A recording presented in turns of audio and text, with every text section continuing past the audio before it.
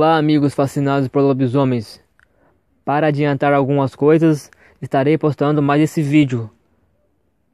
E os salves de hoje vão para Ronaldo Santos, do canal Assombrados e Assustados. Joel, do canal Nem Faz Medo. Alex Santos, do canal Vai Que Dá. Dalo, do canal Amigos do Dalo e Reflexões do Dalo. Antônio Alves, Rayana Barcelos, Davi Oliveira, Vanderlei, Vitória, Jô e Júlia. E vamos ao relato. Esse relato quem me enviou foi um inscrito que prefere não ser identificado. E ele me conta assim: Esse é um relato pequeno, mas vou relatar o que eu lembro e ainda baseando no que meus pais me disseram. Meu pai já é falecido. Eu tinha mais ou menos cinco anos de idade. Nasci aqui em São Paulo e aqui fui criado. Porém, tenho parentes no estado da Paraíba. Lá fomos passear quando ainda podíamos, pois meu pai adoentou-se e ficou de cama assim não podendo mais se locomover para longe. Bem, o que aconteceu comigo e meus primos ficou gravado em meu subconsciente e de meus pais. Como todos sabem, no sertão da Paraíba, até hoje, ainda há muitos sítios e ainda são muito longe uns dos outros. Uma festa estava marcada na casa de parentes, um tio, irmão de minha mãe.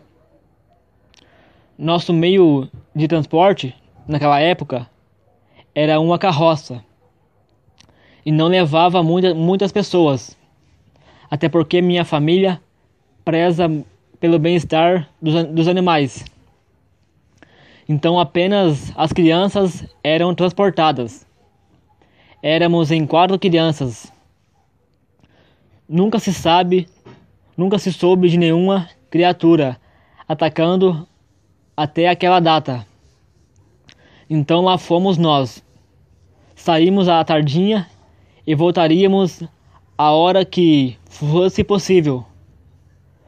Por não haver perigo de bandidos e nada do que nos pudesse fazer algum mal, assim nós pensávamos mas nada nos prepa prepararia para o que iríamos passar.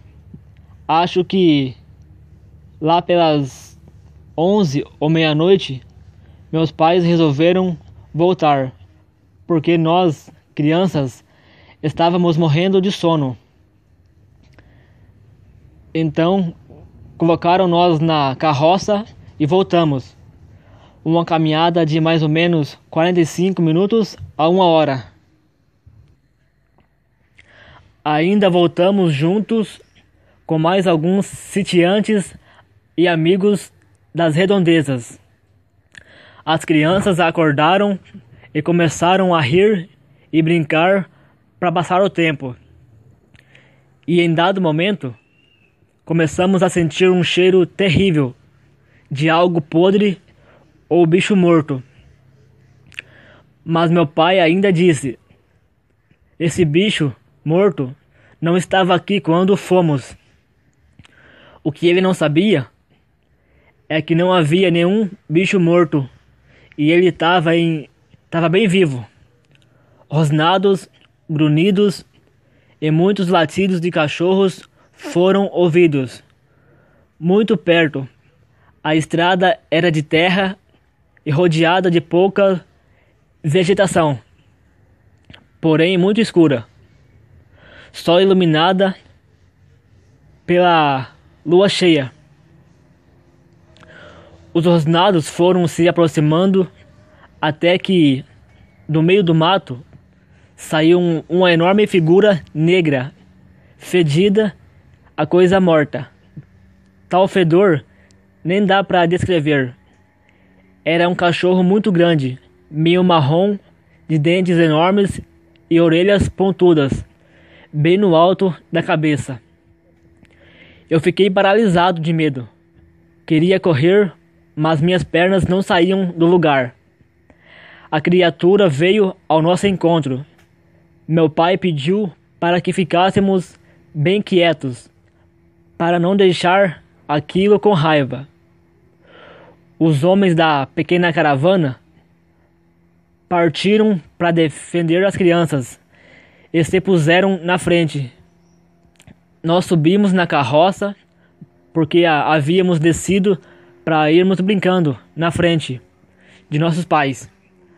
Ali parecia que nós estávamos a salvo, mas a criatura queria um de nós. Acho mesmo que era a mim, por ser o menorzinho. Então meus pais e os outros pais começaram a procurar paus e pedras para defender-nos. O enorme bicho ficou nos olhando e parou. Não sei ao certo porquê. Algumas cenas ficaram meio apagadas, somente a figura do enorme cachorro. Na minha visão de criança, era um cachorrão descomunal. Ficou gravada na minha memória. O bicho se embrenhou no mato e voltou para onde veio. Então meu pai pegou a, rédea da carroça e corremos, como nunca. Chegamos em casa e todos se perguntavam o que era aquilo.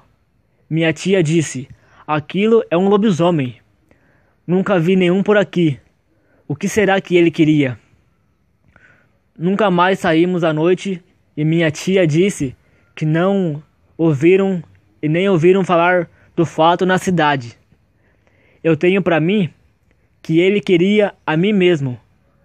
Como eu disse, nunca mais voltamos ao sítio e meus tios também vieram embora para cá. Não tenho uma data certa nem a cidade. Só sei que era no, estado da Paraíba. E outro detalhe que esse inscrito me conta é que, diferente de muitos relatos que relatam que o lobisomem se pôs em duas patas, esse, por incrível que pareça, não se pôs, continuou nas quatro patas. Bom, amigos, esse foi o relato do inscrito.